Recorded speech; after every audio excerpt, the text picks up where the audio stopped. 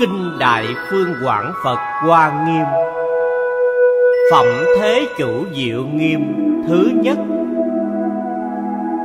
Tập 132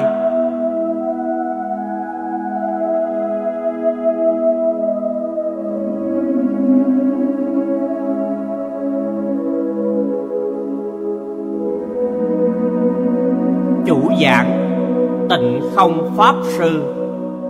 Chuyển ngữ Quảng Thông. Biên tập Nguyên Tâm. Thời gian Ngày 27 tháng 4 năm 1999 Địa điểm Tịnh Tông Học hội, Singapore.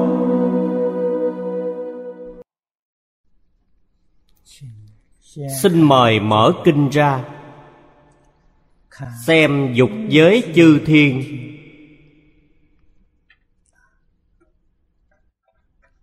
Vị thứ tám tha hóa thiên dương.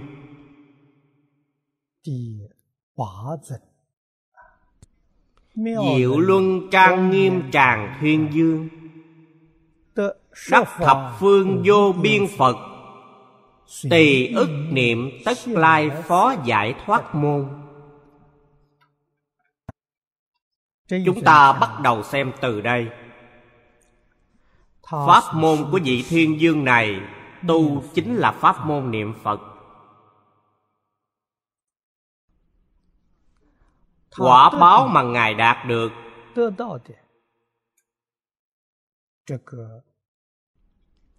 Chúng ta hay gọi Giải thoát môn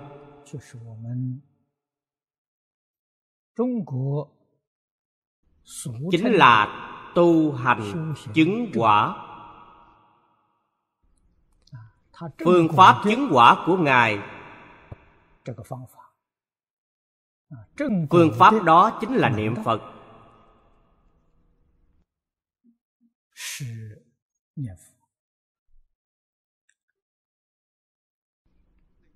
Trong kinh lăng nghiêm đức phật giảng cho chúng ta nghe nhớ phật niệm phật. Hiện tại tương lai nhất định thấy phật. Các vị phải hiểu rõ thấy phật tức là chứng quả. Nếu như tâm của các vị không phải là tâm phật thì các vị không bao giờ thấy được phật. Chỉ có tâm phật mới thấy được phật. Tâm bồ tát mới thấy được bồ tát vì vậy cảnh giới bên ngoài không có nhất định. Y báo chánh báo trang nghiêm trong mười phương pháp giới đều từ tâm mà sanh ra. Trong tâm các vị suy nghĩ về điều gì? Thì sẽ nhìn thấy cảnh giới như thế đó. Cảnh thay đổi theo tâm chúng ta phải hiểu được đạo lý này.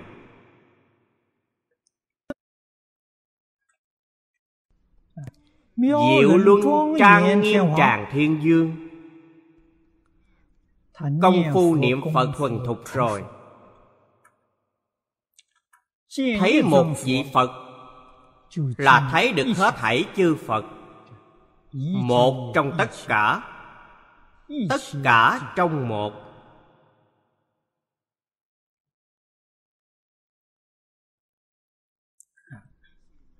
cho nên kinh điển nói đắc thập phương vô lượng vô biên chư phật.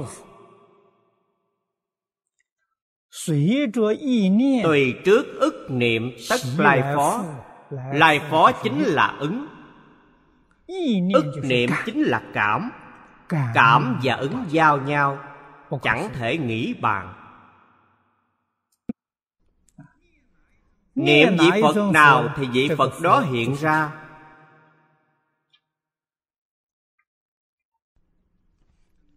Niệm phật a di đà thì sẽ cảm ứng được mười phương hết thảy chư phật trong ba đời đều hiện đến.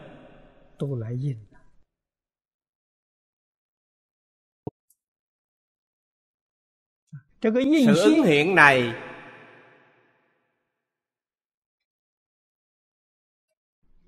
về lý sự chúng ta cần nắm rõ. Phật có đến hay không? Phật có thật là đến hay không? Không thể nói có đến mà cũng không thể nói không có đến. Tại vì sao? Thân phật có ở khắp trong hư không pháp giới làm gì có đến đi. Ở đâu có cảm thì ngài hiện thân ở nơi đó.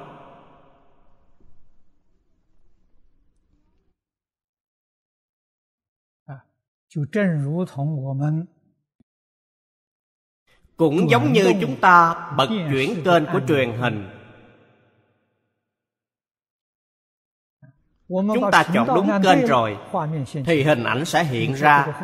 Các vị nói hình ảnh này có đến đi không?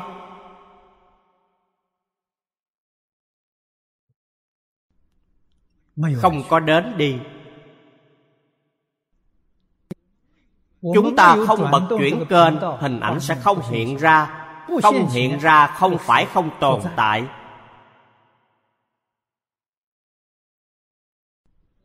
chúng ta không muốn xem nữa.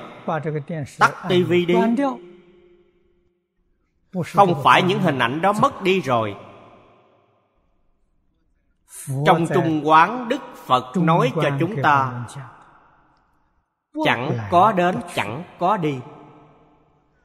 Không những chẳng có đến chẳng có đi mà còn chẳng sanh chẳng diệt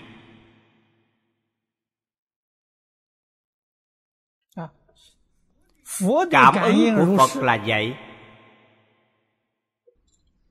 Bồ tát cũng không ngoại lệ. Bồ tát không ngoại lệ.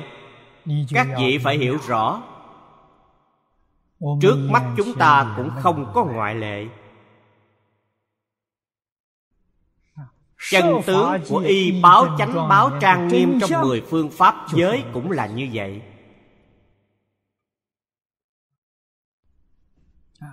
tám cái không trong trung quán đem chân tướng sự thật này nói rất rõ ràng. Trên đến chư phật như lai dưới đến địa ngục a tỳ không có gì ngoại lệ.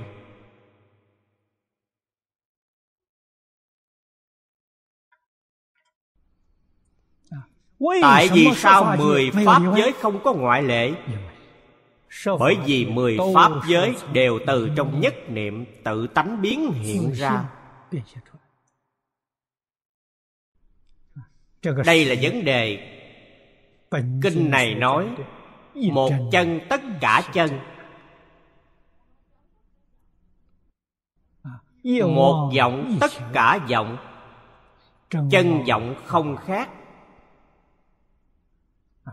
các vị nên tỉ mỉ mà lĩnh hội.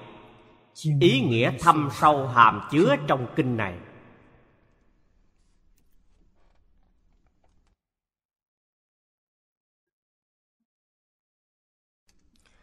Câu đầu tiên trong trung quán nói cho chúng ta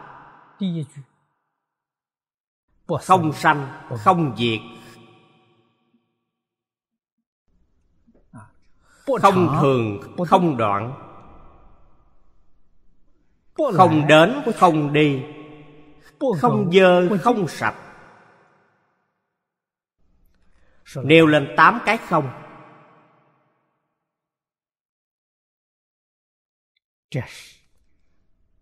Đây là đem chân tướng của vũ trụ nhân sinh bài ra cho chúng ta thấy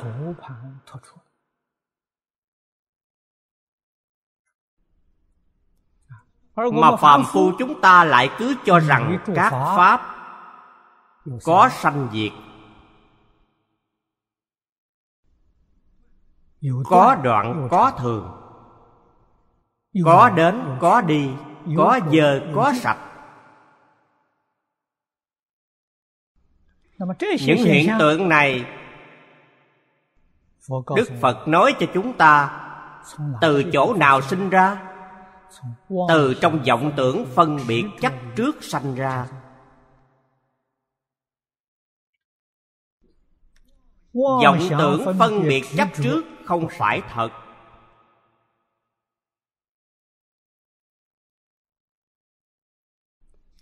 Trong tâm thanh tịnh vốn dĩ không có vật gì.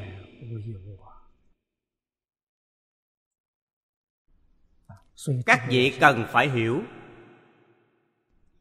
nhất chân pháp giới cũng là duyên khởi.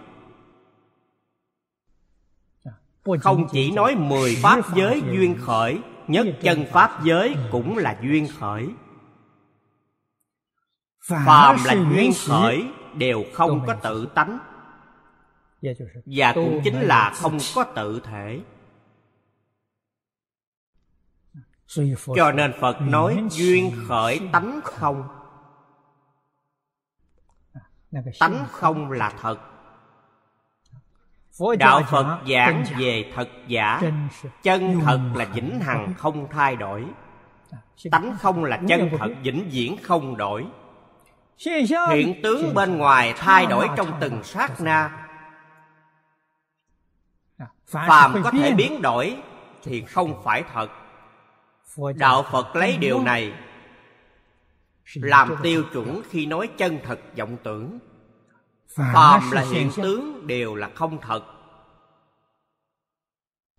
Trong kinh kim cang nói phàm là có tướng đều là không thật. Tất cả pháp hữu di như mộng quyển bào ảnh pháp có hình tướng đều là cảnh giới bên ngoài tướng hiện ra trong quả vị như lai cũng không ngoại lệ. Trong kinh bát nhã không có nói ngoài chân thực pháp giới. Cũng không có nói ngoài các pháp siêu diệt thế gian. Huống hồ nói cho rõ ràng hơn đến pháp còn phải nên xả bỏ. huống hồ là không phải pháp pháp đó chính là phật pháp. Tại sao phải xả bỏ phật pháp? xả bỏ chính là không nên chấp trước. Tại sao không nên chấp trước vào phật pháp? Tại vì sao phải xả bỏ phật pháp là bởi do nhân duyên mà sanh ra.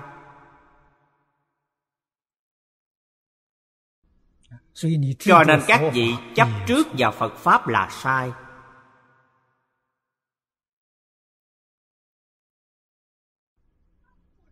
không chấp trước vào pháp thế gian mà chấp trước vào phật pháp thì cũng không thể thành tựu được.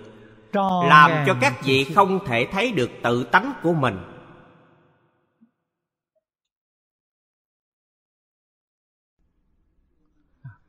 Sau khi chúng ta hiểu rõ cái đạo lý này rồi pháp trong thế gian pháp nằm ngoài thế gian đều xả bỏ. Quyết định không thể chấp trước cũng không được phân biệt. Nằm trong phân biệt chấp trước. Chính là nằm trong tâm ý thức. Ý thức là pháp hữu di trong bách pháp nói pháp hữu di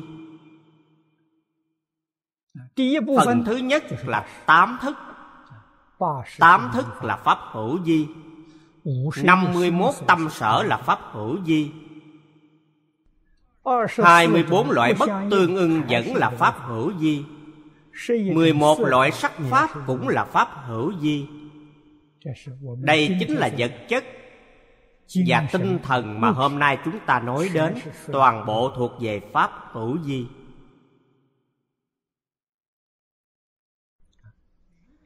sau khi hiểu được điều này đối với cảnh giới bên ngoài rốt cuộc là như thế nào? Các vị mới minh bạch mới hiểu rõ. Niệm phật sẽ hiện ra tướng phật. Niệm phật thấy phật. Niệm bồ tát thấy bồ tát. Niệm cái gì hiện ra cái đó? Tướng không phải nhất định cái mà người thế gian niệm tướng họ thấy không tốt. Trong tâm niệm tham lam. Bất luận tham cái gì. Tham tài tham danh tham sắc thậm chí tham phật pháp. Đều gọi là tham. Tham thì nhìn thấy những gì? tham thì sẽ nhìn thấy tướng quỷ sân hận sẽ nhìn thấy tướng địa ngục. Ngu si nhìn thấy tướng súc sanh. Tâm như thế nào? cảm ứng biến hiện ra cảnh giới như thế đó.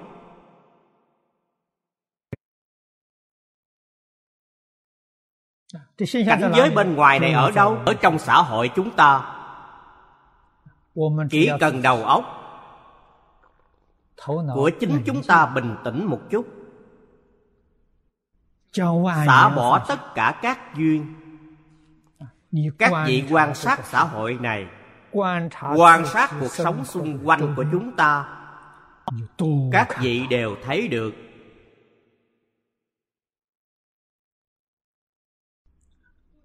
Không những nhìn thấy chánh báo y báo cũng nhìn thấy rồi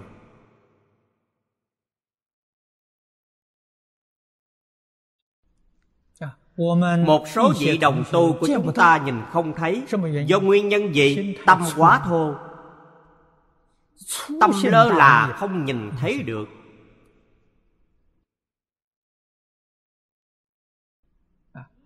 Nếu như các vị rất chú tâm khi quan sát cảnh giới bên ngoài thì không khác với những gì mà kinh lăng nghiêm đã nói chúng ta không thể nào mà không khâm phục phật thích ca mâu ni.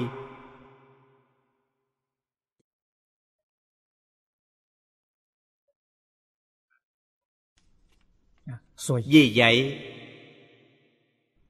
điều sau cùng của tam phước trong kinh quán vô lượng thọ nói tinh sâu nhân quả. Chúng ta mới chợt tỉnh ngộ ra ý nghĩa chính xác của điều phước thứ ba dạy chúng ta. niệm phật là nhân. Thành phật là quả. Dạy chúng ta phải tin sâu vào nhân quả này không phải nhân quả nào khác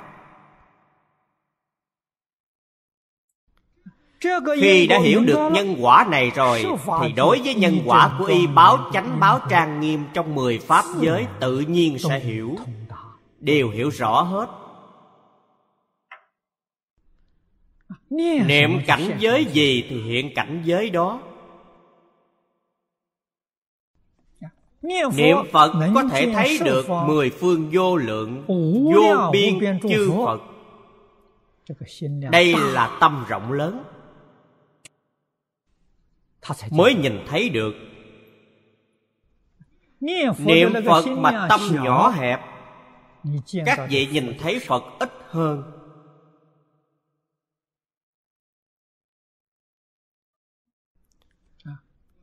Trong kinh quán vô lượng thọ phật nói cho chúng ta biết thượng thượng phẩm giảng sanh đến lúc lâm chung nhìn thấy phật a di đà đến tiếp dẫn. Theo sau phật a di đà có vô lượng vô biên chư phật đều nhìn thấy được.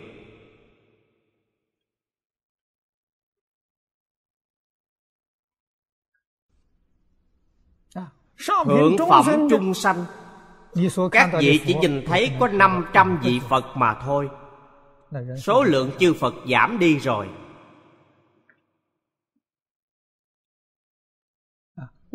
Tại vì sao số lượng chư Phật được nhìn thấy lại có ít nhiều Liên quan đến tâm lượng các vị. Cho nên chúng ta cần phải mở rộng tâm lượng. Thế nào là đại thừa? Thế nào là nhất thừa? Không ở nơi sự ở nơi tâm tâm bao trùm khắp cả hư không pháp giới. Đây là đại thừa đây là nhất thừa. Điều kiện cảnh giới. Khi khởi tâm động niệm là hư không pháp giới. Cũng là chúng ta đang giảng gì hết thải chúng sanh ở khắp hư không pháp giới. Mỗi niệm đều như vậy tôi niệm một tiếng danh hiệu phật niệm một câu a di đà phật. Vì ai mà niệm? Vì hết thảy tất cả chúng sanh trong hư không pháp giới. Thì tâm lượng này sẽ rộng ra. Người này tương lai lúc giảng sanh sẽ thấy vô lượng vô biên chư phật.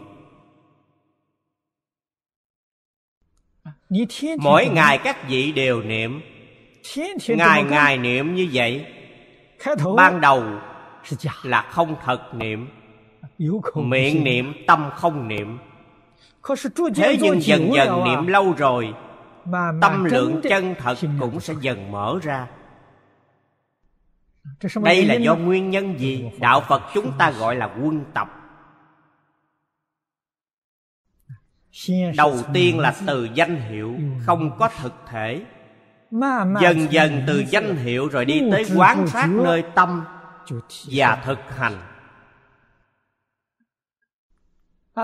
Từ quán sát nơi tâm rồi sẽ đi đến chỗ gần giống. Từ chỗ gần giống sẽ đi đến phần chứng. Thiên Thai Tông giảng về sáu giai đoạn thành tựu quả vị Phật là sáu tầng lớp Không phải tận lực đi tìm cầu. Tận lực đi tìm cầu. Cầu. Không được. Công phu nhất định là phải thuần thục.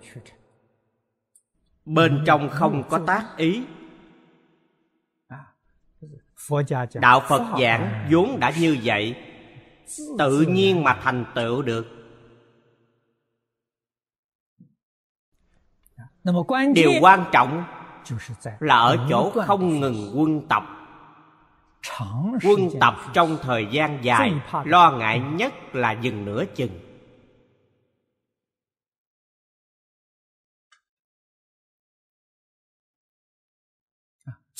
Từ xưa đến nay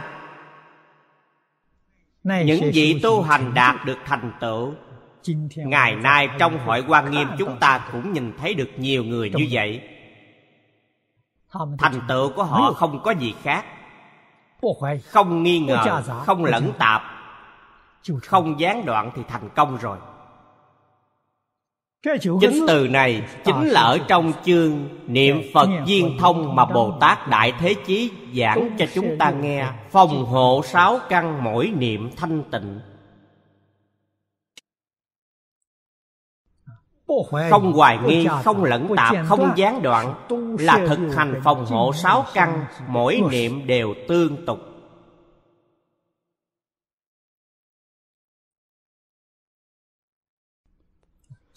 Chúng ta cần phải biết nhìn thấy ra được họ làm thế nào để được thành tựu? Tại sao có thể thành tựu? chúng ta tu hành tại vì sao công phu không được vững chắc? Vì sao không thành tựu được khi tìm ra nguyên nhân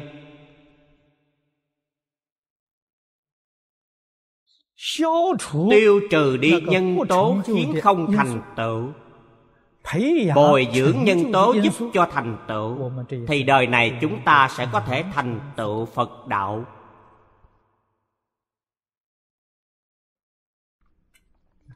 Nếu các vị không hiểu được đạo lý này tìm không ra cái bệnh của chính mình. Thậm chí là không phát hiện ra chính bản thân mình có bệnh hạng người này làm sao tu học có thể chứng quả được? Vì vậy phát hiện ra căn bệnh của chính mình. Tìm ra nhân tố. Làm chướng ngại bản thân. Đạo phật gọi đây chính là giác ngộ.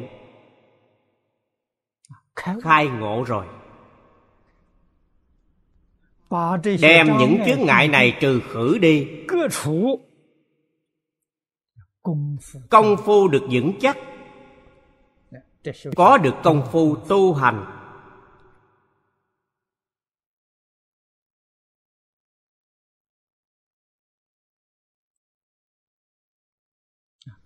Sau đó các vị niệm phật tương ưng. Niệm phật mới có thể thấy phật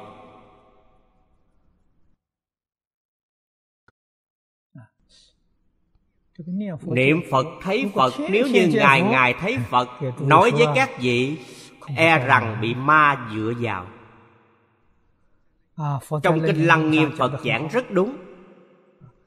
Khi nào phật hiện thân cho chúng ta thấy tăng trưởng tính tâm của các vị. Nói cho các vị biết xác thực là có việc này.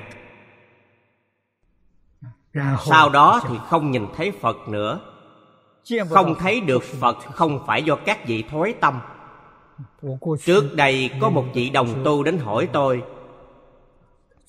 mấy năm đầu mới học phật, có nhiều sự cảm ứng?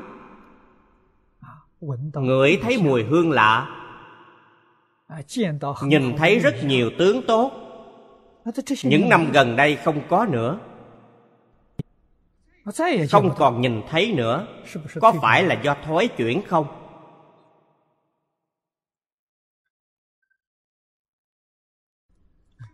Chính xác là đã thối chuyển. Sao lại thối chuyển? Vọng tưởng khởi lên chính là đã thối chuyển. Vọng tưởng là gì? Muốn thấy phật. Muốn thấy tướng tốt vọng tưởng. Muốn thấy phật thì phật. Sẽ đến. Muốn thấy tướng tốt thì tướng tốt hiện. Đó là cái gì? Là ma cảnh phàm hiện tướng chân thật của phật là do tâm thanh tịnh các vị mà cảm ứng.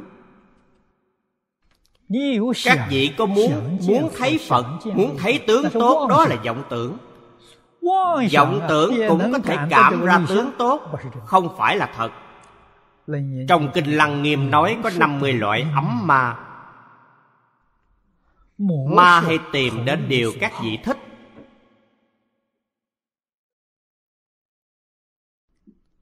hay nói cách khác, con người thích thần thông, con người thích cảm ứng, rất dễ bị ma dựa vào.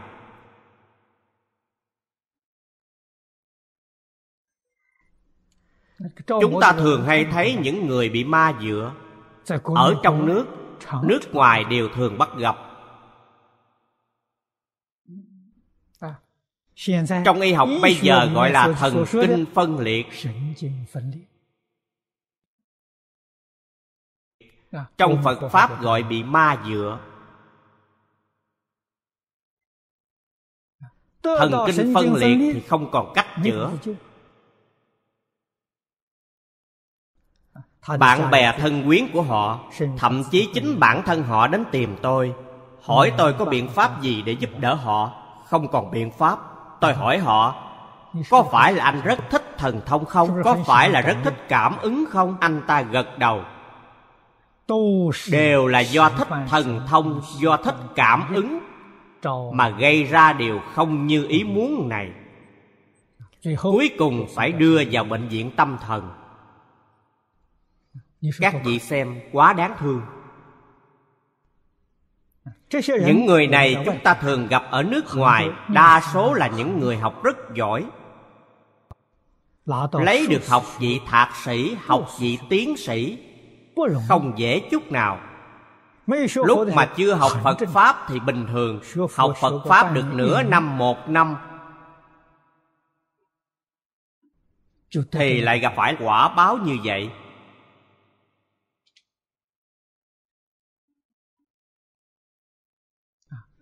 Đặc biệt là học mật tông. Học thiền rất dễ bị tẩu quả nhập ma. Thầy giáo không hướng dẫn chu đáo cho họ. Phàm là người học phật không dụng công thì sẽ không bị ma dựa. Đây đều do học phật rất dụng công. Thì vấn đề sẽ xuất hiện ngay người học giáo người học niệm phật ít bị ma dựa.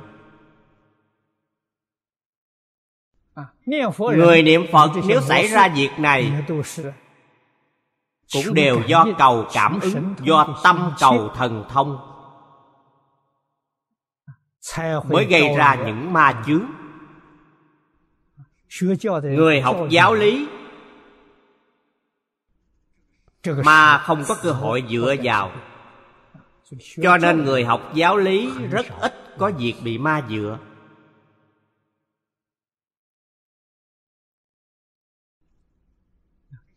Chúng ta cần phải hiểu rõ những đạo lý này. Chúng ta đối với những vị đồng tu bị các ma chướng này cần phải sanh tâm cảm thông yêu thương giúp đỡ họ.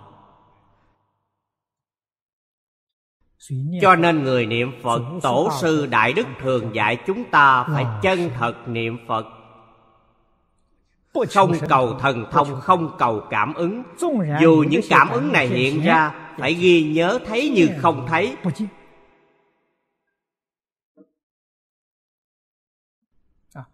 Phàm là có tướng đều là hư vọng đừng nên để ý.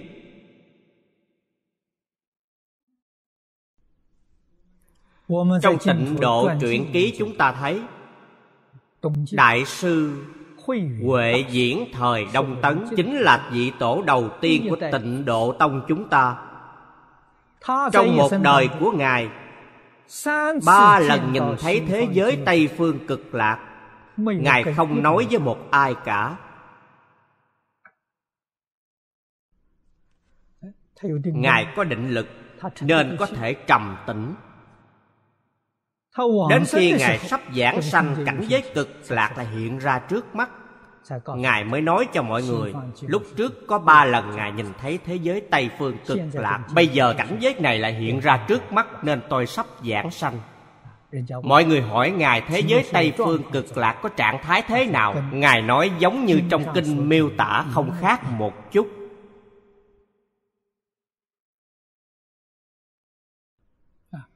thời đại của đại sư huệ diễn kinh điển tịnh độ chỉ có một bộ kinh vô lượng thọ. Kinh a di đà với kinh quán vô lượng thọ vẫn chưa được phiên dịch ra. Kinh vô lượng thọ là quyển kinh được dịch ra sớm nhất. Vào thời đó ngài ở lô sơn dựng lên niệm phật đường. Mọi người đều cùng nhau niệm phật là dựa vào kinh vô lượng thọ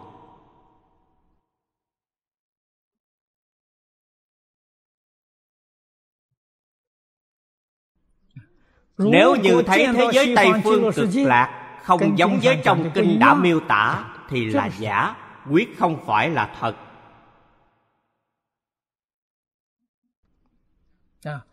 Mười năm trước Có một lần tôi giảng kinh ở Hồng Kông. Pháp sư sướng hoài Cầm một quyển sách nhỏ đến hỏi tôi. Nói có một vị Pháp sư đã đi đến thế giới Tây Phương cực lạc bây giờ quay về rồi. Viết ra cuốn sách cực lạc thế giới du ký. Nhìn thấy người nam người nữ ở thế giới tây phương cực lạc. Pháp sư sướng hoài hỏi tôi việc này đáng tin không? Tôi trả lời không giống với những gì trong kinh miêu tả nhất định là giả rồi. Quyển sách đó được in ra rất đẹp bìa màu hai mặt có rất nhiều người đã tin.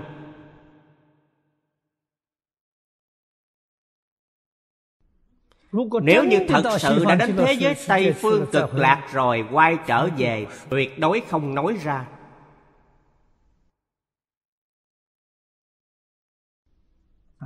Ở trong phật môn từ xưa đến nay có một phép tắc bất thành văn người đắc đạo không bao giờ lộ diện. Đã lộ diện thì không phải là người đắc đạo.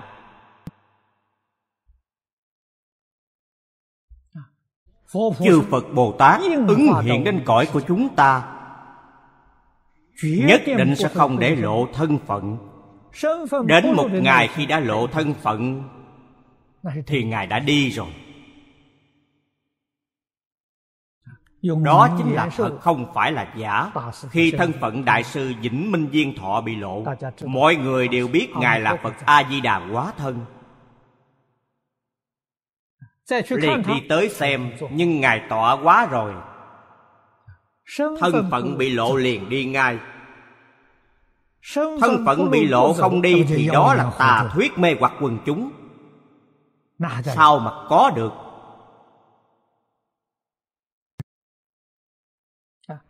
hòa thượng hàng sơn thập đắc phong can đều như vậy. Một khi thân phận bị lộ lập tức đi ngay không thể tìm ra được.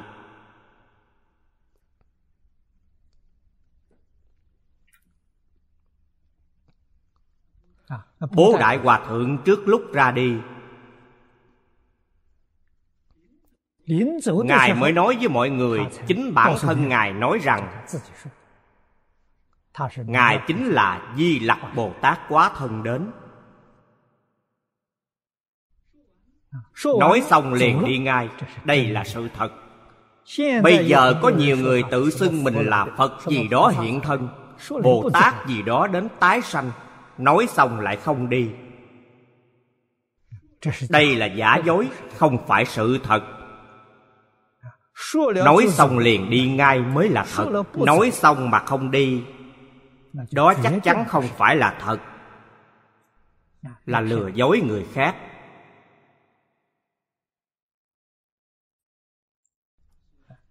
Diệu luân trang nghiêm tràng thiên dương. Sau khi chúng ta thấy được pháp môn ngài chứng đắc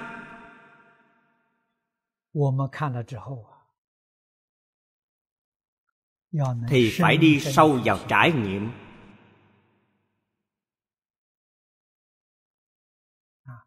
Mười pháp giới y chánh trang nghiêm đều không ngoại lệ. Tùy niệm tùy hiện.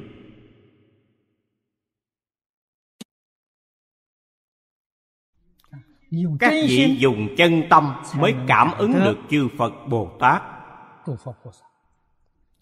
vọng tâm không bao giờ có cảm ứng vọng tâm có cảm ứng là cảnh giới ma không phải cảnh giới phật. Xem vị thiên dương thứ chín hoa quan huệ thiên dương. Đắc tùy chúng sanh tâm niệm phổ hiện thành chánh giác giải thoát môn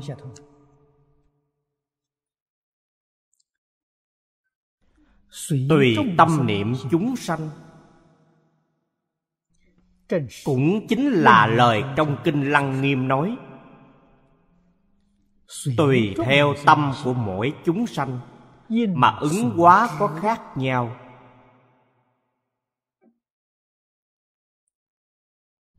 Pháp môn mà ngài đạt được chính là nói về việc này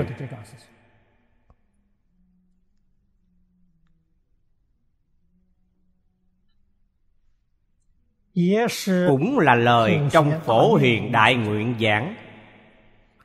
Thuận theo chúng sanh tùy hỷ công đức.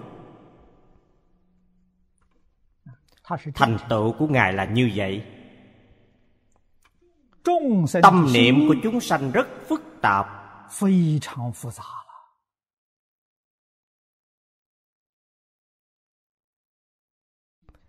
Làm sao tùy thuận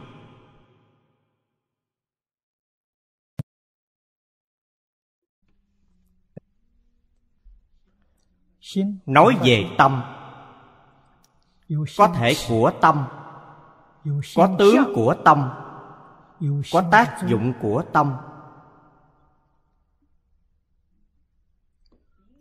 Nếu như chúng ta tùy thuận tướng dụng vậy thì phiền phức có thể càng lớn.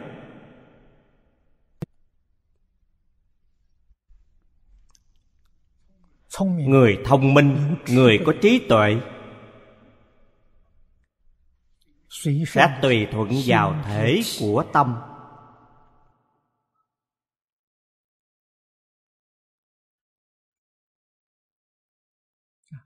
Tâm chúng sanh.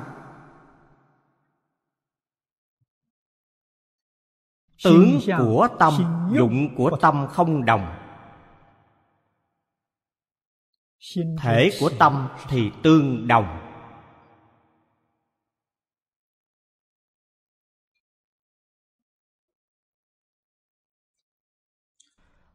đại sư giao quan trong lăng nghiêm chánh mạch dạy cho chúng ta.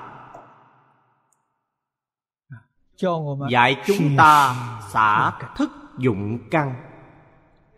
Cũng khế hợp với ý nghĩa này. Xả thức. dụng căn chính là tùy theo thể tâm niệm của mỗi chúng sanh.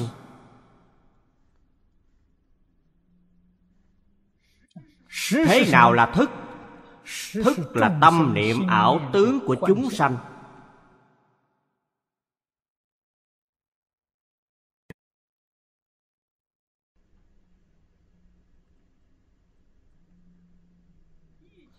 Tất cả thể tâm niệm của mỗi chúng sanh đều tương đồng. Thể chính là tự tánh chân như ở mắt gọi tánh thấy ở tai gọi tánh nghe. Ở lưỡi gọi tánh nếm ở thân gọi tánh giác. Ở ý gọi tánh biết. Trong kinh lăng nghiêm gọi thành bốn chữ. Kiến văn giác tri. Đây là tánh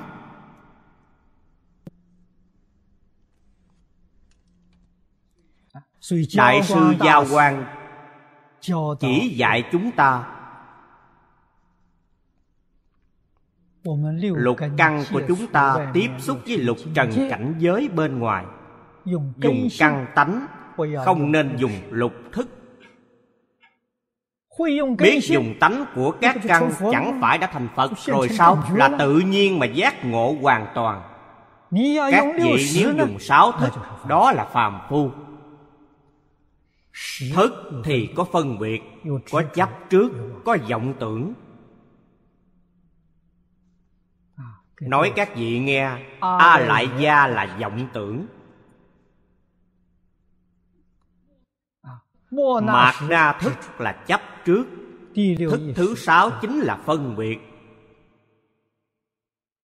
Nếu các vị dùng vọng tưởng để phân biệt chấp trước là các vị dùng lục thức của lục căn. Các vị dùng nhãn thức nhìn sắc tướng bên ngoài. Cho nên trong sắc tướng các vị sẽ có phân biệt sẽ chấp trước. Sẽ chấp trước hết tất cả các sắc tướng. Thứ yêu thích chấp trước thích muốn có được nó thứ không muốn thích chấp trước xa lánh nó. Đều là chấp trước.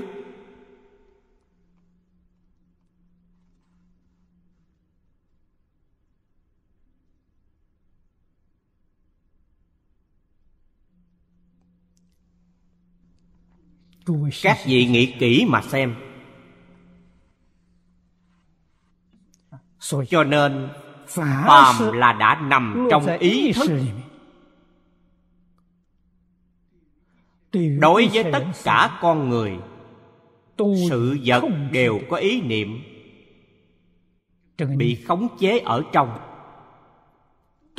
Đều có ý niệm chiếm hữu. Thứ mà yêu thích thì muốn có được. Thứ không yêu thích thì hy vọng xa lánh nó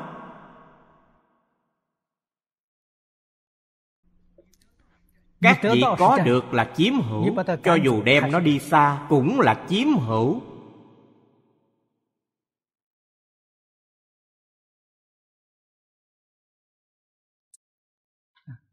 Đây là tạo nghiệp. tạo vô lượng vô biên tội nghiệp. Hiện tượng của luân hồi cũng xuất hiện từ đây ra. Vốn dĩ không có tồn tại luân hồi là do sự suy nghĩ sai lầm của tất cả chúng sanh. Sự thấy biết sai lầm suy nghĩ hành động sai lầm do ảo tưởng mà biến hiện ra không phải là thật.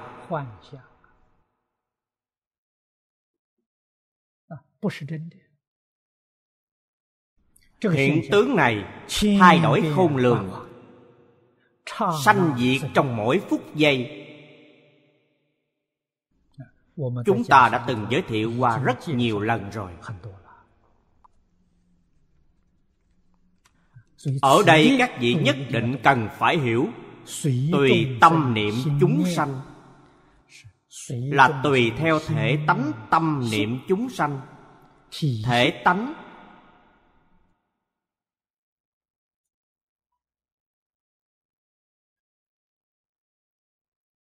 cũng chính là căn tánh của sáu căn. Mắt chúng ta nếu dùng căn tánh của nhãn căn kiến tánh nhìn tất cả sắc tướng ở bên ngoài.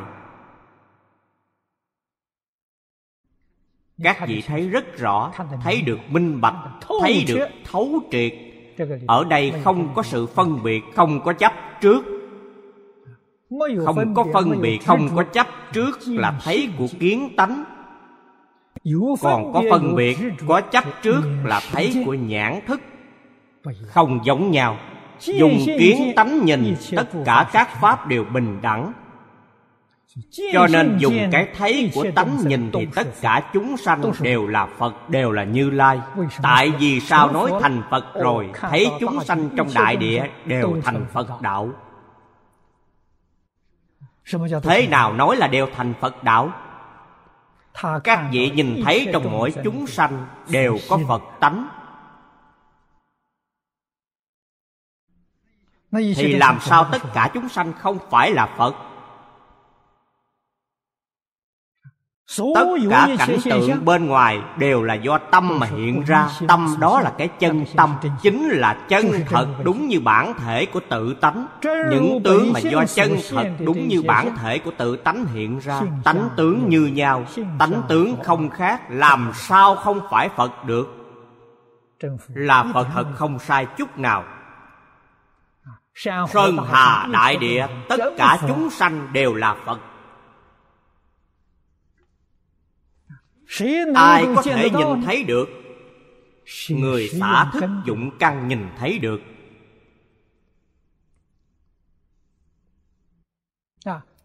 Người dùng thức không dùng căn thì không bao giờ thấy được. Cho nên phàm phu nhìn thấy phật bồ tát. Phật. Bồ tát cũng là phàm phu. Phật bồ tát nhìn phàm phu đều là phật bồ tát há chẳng phải cảnh tùy tâm chuyển ư? cảnh giới đâu có gì là cố định. Không phải cố định đều tùy tâm chuyển. Tâm các vị là tâm phật nhìn tất cả pháp đều là phật pháp. Nếu là tâm phàm phu nhìn tất cả pháp đều là pháp thế gian pháp tướng bên ngoài này có thay đổi hay không? Không có.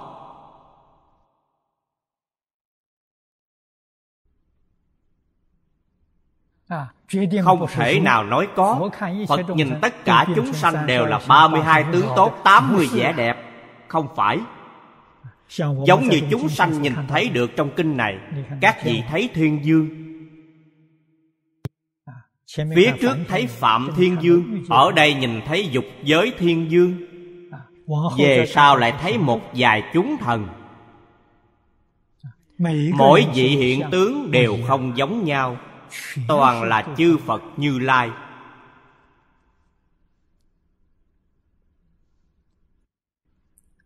Đây chính là lời Phật nói ở trong kinh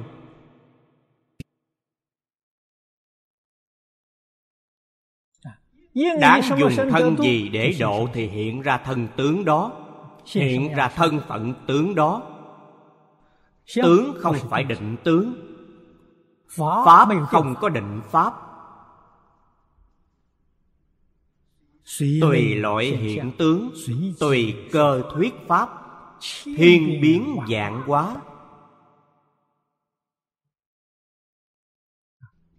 Đây mới là chân tướng sự thật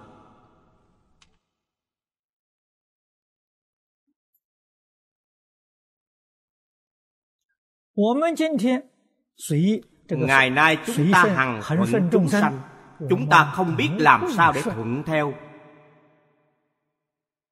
chúng ta thường hay nghe được câu nói này giống như là tùy thuận sự tướng của chúng sanh sự tướng làm sao có thể tùy thuận được？mỗi một chúng sanh mỗi một tánh khí。mỗi một chúng sanh một căn bệnh khác nhau không có cách nào để thuận theo chúng ta mới chợt hiểu ra rằng chư phật bồ tát hằng thuận chúng sanh là thuận theo tánh đức của họ.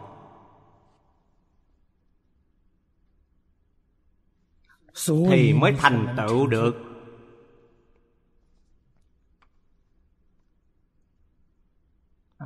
tùy thuận tánh đức của tất cả chúng sanh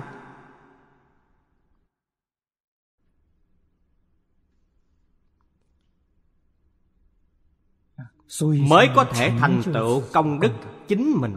Hằng thuận chúng sanh tùy hỷ công đức. công đức chính là tự nhiên mà được giác ngộ. Đó là công đức.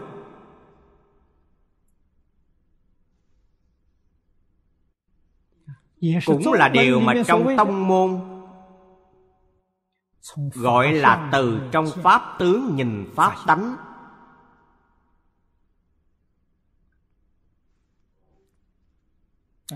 tùy thuận pháp tướng. Mà nhìn thấy pháp tánh. Là đúng rồi.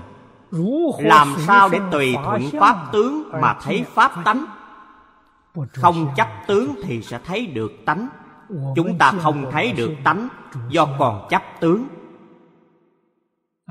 Các vị còn phân biệt pháp tướng chấp trước pháp tướng vĩnh viễn không thấy được pháp tánh không phân biệt pháp tướng không chấp trước pháp tướng thì mới thấy được pháp tánh.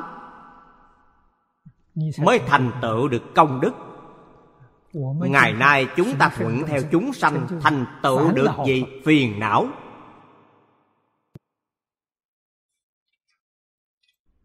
Các vị càng thuận theo thì phiền não của các vị càng nhiều phiền não sẽ càng nghiêm trọng cho nên trong cuộc sống của ai cũng đều rất cực khổ nói không thành lời.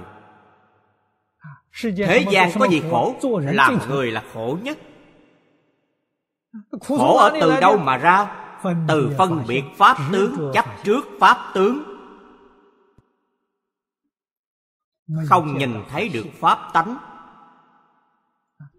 Chư phật bồ tát vui cực lạc thế giới cái an lạc đó từ đâu mà ra?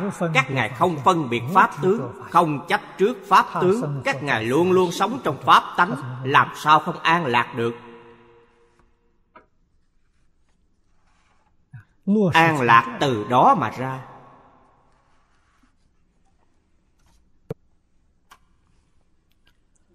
Phổ độ chúng sanh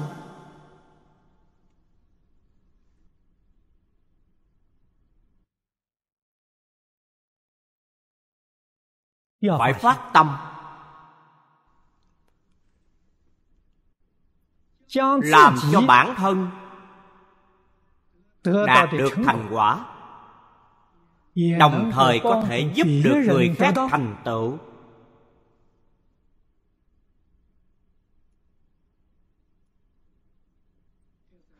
Trong phật pháp gọi đây chính là phổ độ chúng sanh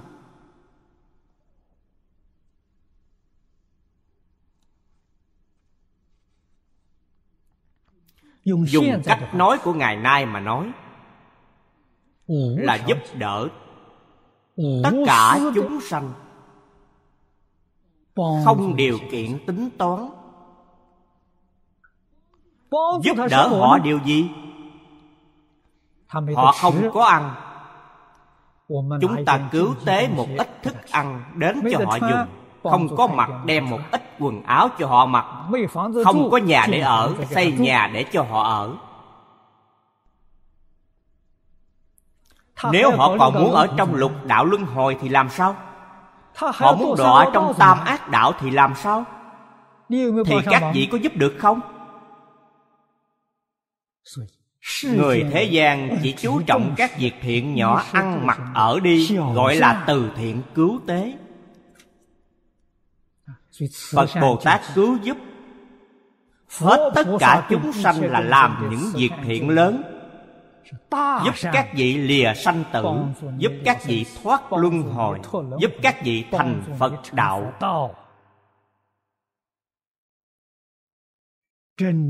từ bi tế thế một cách chân chính. cứu cánh viên mãn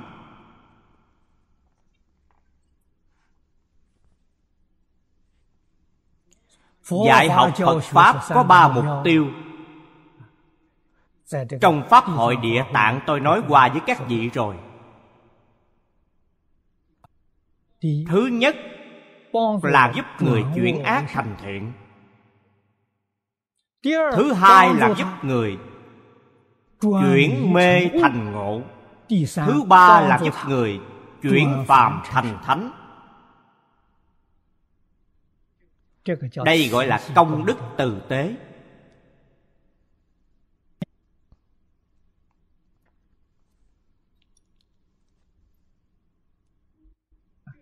Đây là công đức từ tế của chư phật như lai không phải của người phàm. Phật có công đức từ tế ma cũng có công đức từ tế. Công đức từ tế của ma là làm cho chúng sanh tăng trưởng tham sân si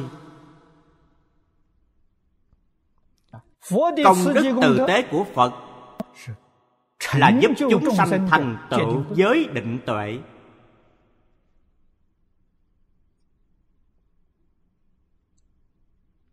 Không giống nhau.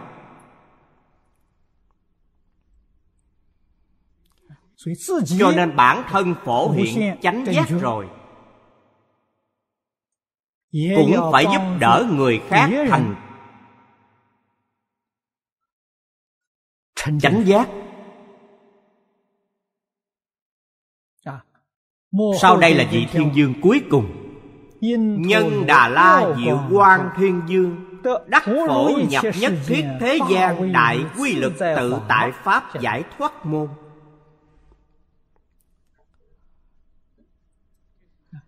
Ở đây dạy chúng ta làm thế nào để giúp đỡ người khác phổ nhập tất cả thế gian. phổ nhập là nhập bình đẳng. Lấy tâm thanh tịnh. tâm bình đẳng nhập tất cả thế gian. Các vị thấy tâm lượng đó rộng lớn dường nào? Không phải là một thế giới. Không phải là một khu vực không phải một loại chúng sanh.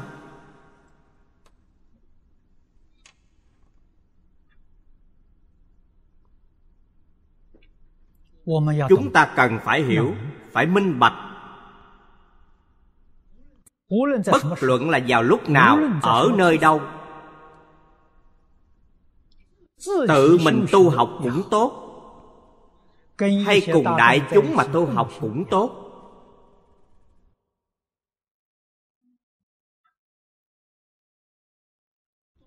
đều là trong một đạo tràng lớn của như lai.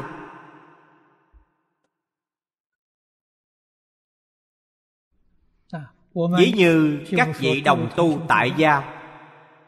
Gia đình các vị. Cha mẹ người thân. Gồm ba bốn người. Mỗi ngày đều cùng nhau niệm phật cùng đọc kinh với nhau. Đây là một đạo tràng. đạo tràng này lớn bao nhiêu tận hư không biến pháp giới. Không khác gì so với đạo tràng của tỳ lô giá na phật. Tại vì sao gia đình này lại trở thành một đạo tràng lớn như vậy? Bởi vì các vị không có tâm phân biệt Không có phân biệt, không có chấp trước Tâm lượng cùng với hư không pháp giới là như nhau. Các vị là đại đạo tràng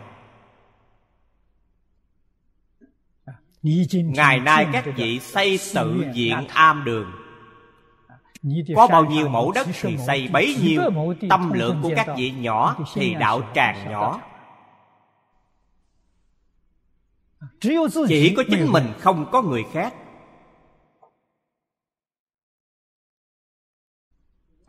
Chùa của tôi đã dạch ra rõ ràng ranh giới với các ngôi chùa khác không qua lại với nhau cho dù xây có lớn mấy đạo tràng cũng rất nhỏ nhỏ tí xíu。đạo tràng lớn nhỏ không ở hình thức mà ở tâm lượng。ở đây dạy chúng ta làm cách nào để mở rộng tâm lượng hòa nhập vào khắp trong tất cả thế gian xa lìa phân biệt chấp trước hòa nhập vào khắp trong tất cả thế gian tôi ở trong một ngôi nhà nhỏ ngồi niệm phật. Vì ai mà niệm? Vì tất cả chúng sanh ở khắp trong hư không pháp giới mà niệm phật. Ngôi nhà nhỏ ở đây chính là hư không pháp giới. Chính là đạo tràng lớn của chư phật như lai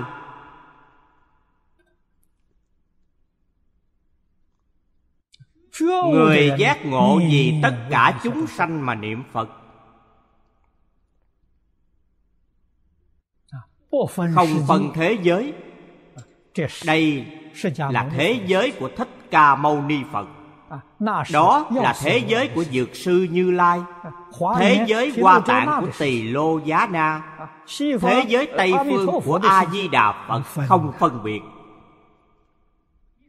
các vị còn phân biệt chấp trước。không được. Tâm lượng của các vị quá nhỏ. Không phân.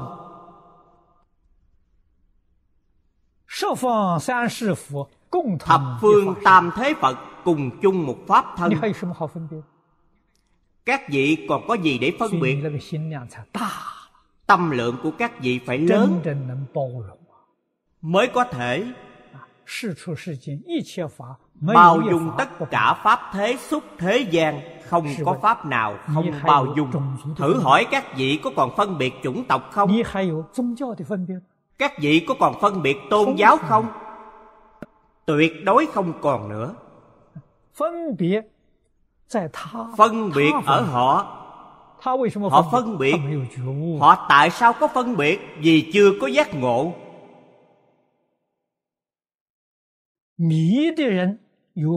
người mê thì có phân biệt có chấp trước. hay nói cách khác có phân biệt có chấp trước là người còn bị mê hoặc. người đã giác ngộ không có phân biệt không có chấp trước. chính phủ úc châu đề xướng văn hóa đa nguyên dung hòa quần thể không giống nhau không cùng chung tôn giáo. Chúng ta đã thấy và nghe được trong lòng rất tán thán.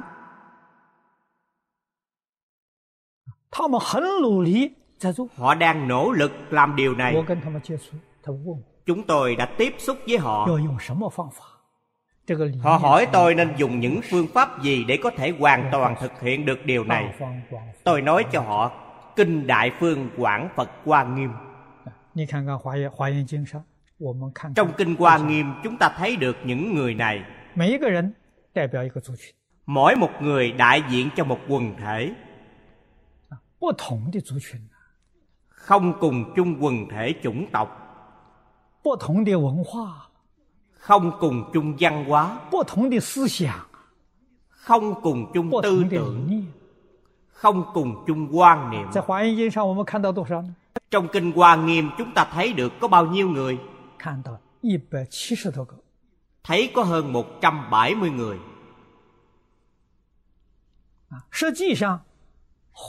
trong thực tế số lượng quần tộc không dừng ở con số này mỗi quần tộc có thể phân tiếp ra số lượng nhiều hơn.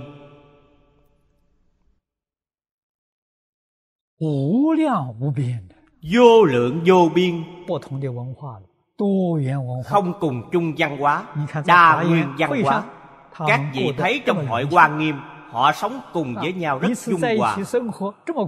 họ sống cùng chung với nhau rất vui vẻ. Tại sao họ có thể làm được? chúng ta cần phải học tập ở trong quan nghiêm mới có thể thực hiện quan niệm đa nguyên. Tôi giới thiệu cho họ các vị muốn thực hiện được muốn làm cho tốt đều có trong kinh hoa nghiêm. Hạ thủ từ đâu? Từ dạy học.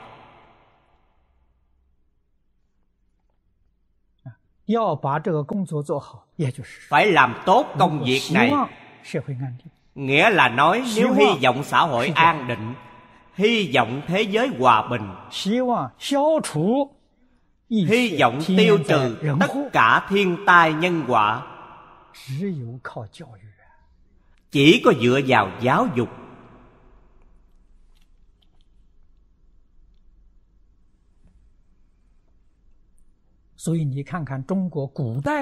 các đế dương thời cổ đại. Đối với những người có đức hạnh người có học vấn thì lại tỏ ra rất kính trọng. chính vì họ biết xem trọng người tài. chính vì vậy quốc gia họ mới được cường thịnh. xã hội sẽ được ổn định phồn vinh nếu như không xem trọng đức hạnh không xem trọng người có học thì xã hội lúc đó nhất định sẽ loạn. Các vị tỉ mỉ xem lịch sử thì các vị sẽ hiểu.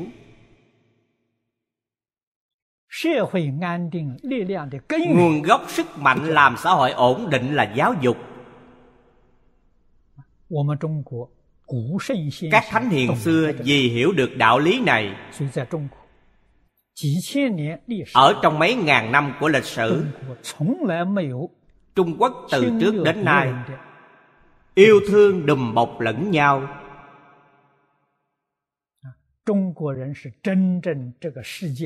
Người trung quốc là một dân tộc rất yêu thích hòa bình.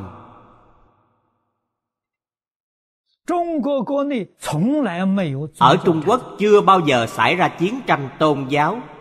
Trung Quốc có 许多宗教。Trung Quốc có rất nhiều tôn giáo cùng tồn tại tôn trọng lẫn nhau. Đại sư Chương Gia là người Phật giáo.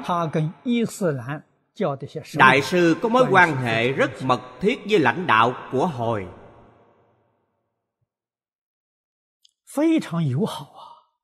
Rất thiện hữu. Họ tôn trọng giúp đỡ nhau hiệp trợ lẫn nhau. tôi đi theo đại sư trong ba năm tận mắt nhìn thấy điều này.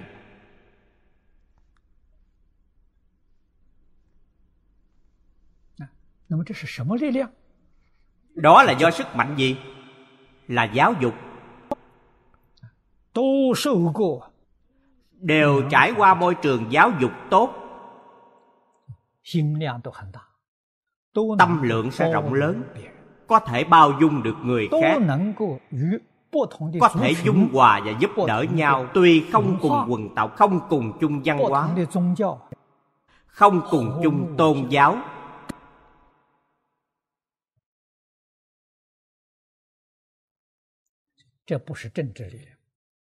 Đây không phải sức mạnh chính trị. Cũng không phải sức mạnh của quân sự kinh tế và khoa học đều không thể làm được. Chỉ có giáo dục. Xã hội ngày nay mọi người đều biết là không được ổn định. Do nguyên nhân gì? Do xem nhẹ công việc giáo dục. Giáo dục thời bây giờ chỉ có chú trọng kỹ năng không xem trọng đức hạnh. không ai dạy con người nhận thức. quan hệ giữa người với người.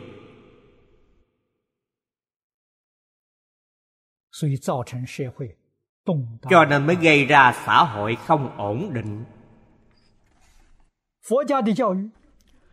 Mục đích giáo dục của đạo phật của nho giáo đều rất đơn thuần. Nội dung giáo dục có thể chia làm ba phương diện. Thứ nhất là dạy các vị hiểu mối quan hệ giữa người với người. Giáo dục luân lý. Cho dạy các vị hiểu quan hệ giữa cha với con giữa chồng với vợ anh em với nhau bạn bè với nhau quan hệ quân thần quan hệ vua tôi. dùng cách nói ngày hôm nay chính là quan hệ giữa lãnh đạo với nhân viên. Sau khi các vị hiểu được rồi thì chính các vị mới an phận được. Giữ được bổn phận của chính mình làm hết trách nhiệm của bản thân.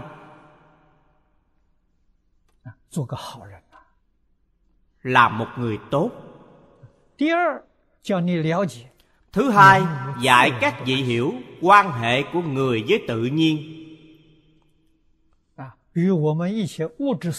Giữa chúng ta với tất cả mọi sự vật trong cuộc sống.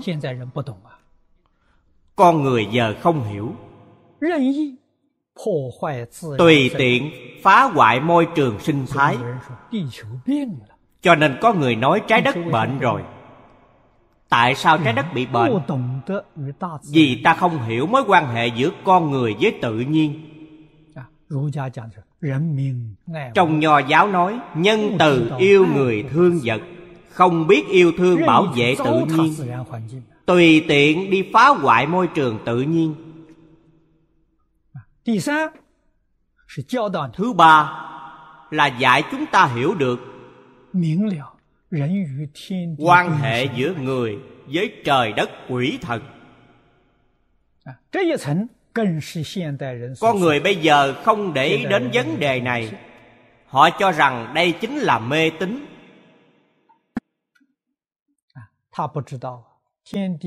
họ không biết có trời đất quỷ thần cũng cùng chung sống với chúng ta. Cùng chung một chỗ. chỉ là tầng thời gian không gian của chúng ta không giống họ. chúng ta sống trong môi trường không gian ba chiều còn họ thì có thể sống ở không gian bốn chiều không gian năm chiều. Mặc dù là tầng không gian có khác nhau nhưng có sự quấy nhiễu dùng cách nói ngày nay là quấy nhiễu của từ trường.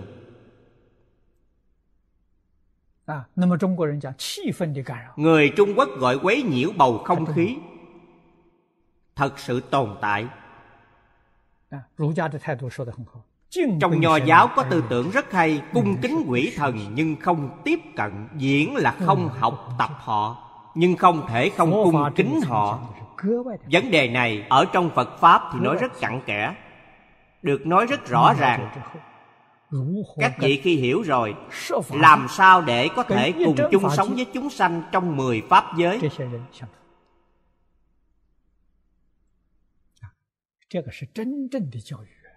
Đây là nền giáo dục chân chính. đầy đủ trí tuệ chân thực có thể cho chúng ta cuộc sống hòa bình hạnh phúc viên mãn. tại sao tôi lại nói nền giáo dục bây giờ quá dễ dãi? Nếu như thật sự có xuất hiện một vị thánh hiền trên đời này một lãnh tụ hiền minh có khả năng cứu thế giới đến đây để hộ pháp? Quá khứ ở trung quốc hộ pháp thường chỉ vua quan. Lấy sức mạnh của quốc gia. lợi dụng khoa học kỹ thuật cao. dùng vệ tinh truyền bá. thì chỉ cần có 10 vị 8 vị giáo sư đến giáo hóa cả nước chúng sanh trên khắp thế giới tôi nghĩ trong nửa năm sẽ có hiệu quả. À, Tuy hôm nay vẫn có người đạo đức người có học vấn nhưng vẫn không nhiều. tìm 10 vị 8 vị cũng có thể tìm ra được. mời họ mỗi ngày dùng 2 tiếng đồng hồ ở trên tivi giảng dạy. Giảng trong vòng nửa năm, một năm Thì con người xã hội này có thay đổi. Cho nên dễ dàng làm được。lúc trước chưa có công cụ khoa học tiên tiến thật sự lúc đó không có một biện pháp nào tốt. các vị in sách có mấy người mà xem hiểu được có mấy người mà thích đọc sách. Không dễ dàng. Dùng tivi giảng dạy dễ hơn rất nhiều vấn đề ở chỗ bồ tát cứu giúp con người cũng như cứu giúp thế giới.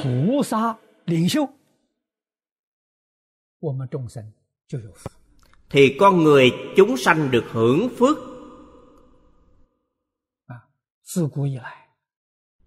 từ xưa đến nay ở trung quốc xuất hiện nhiều vị bồ tát lãnh tụ cứu thế những đế dương đại thần hiền minh là do phật bồ tát quá thân mà đến đáng dùng thân quốc dương để quá độ thì hiện thân quốc dương đáng dùng thân đại thần để quá độ thì dùng thân đại thần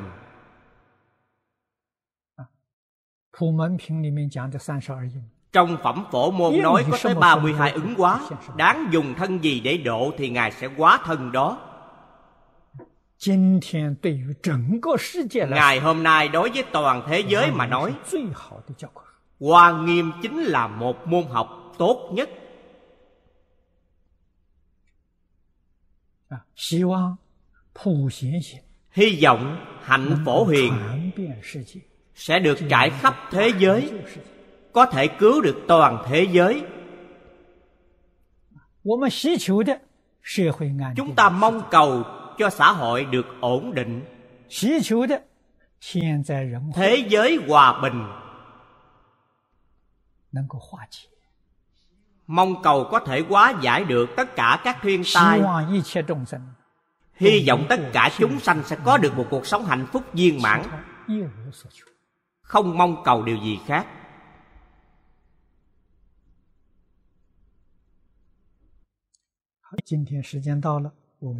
Hôm nay thời gian đã hết Chúng ta giảng đến đây vậy